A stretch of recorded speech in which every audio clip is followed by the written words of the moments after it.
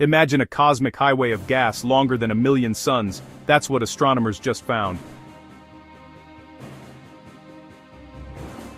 Astronomers using ASKAP's Wallaby survey spotted NGC 4532 and DDO 137, 53 million light-years away, linked by neutral hydrogen stretching 185,000 light-years and trailing an unprecedented 1.6 million light-year gas tail. They're plunging into the Virgo cluster's superheated gas about 200 times hotter than the sun's surface over a billion years. Tidal forces plus ram pressure have stripped and stretched their gas like a slow-motion atmospheric burn.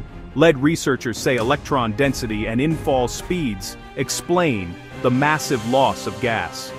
Crucial because neutral hydrogen fuels star formation. This giant structure rewrites how environments shape galaxy evolution, and Wallaby says more surprises are coming. Want a deeper dive? Click the link for more info.